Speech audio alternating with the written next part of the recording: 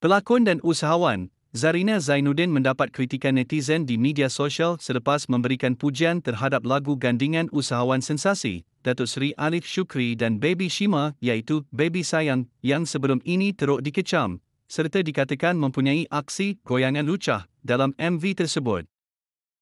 Pelakon itu dilihat memberikan pujian pada hantaran Alif Shukri bahawa lagu Baby Sayang itu bakal menjadi siulan di aplikasi TikTok. Trending lagu sedap mestilah trending, tahniah Dato all the best for you. Suara Dato tak berapa sedap pun takbir suara Baby Shima dah cukup merdu untuk sedapkan lagu Dato.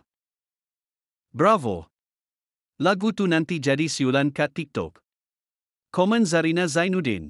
Walau bagaimanapun, pujian yang diberikan Zarina Zainuddin terhadap Alif Shukri telah mencetuskan kritikan oleh netizen yang menganggap pelakon itu menghalalkan apa yang telah dilakukan oleh Alif Shukri. Menjilat sangat tu. Alahai ada juga artis yang sebut. Realistik sikit kah? Tak sangka Ek kemain sanjung lagi. Mengampu J ke J.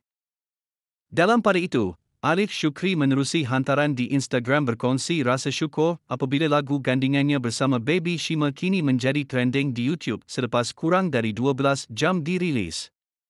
Alif turut mengakui dirinya kini sememangnya penyanyi nombor satu di Malaysia.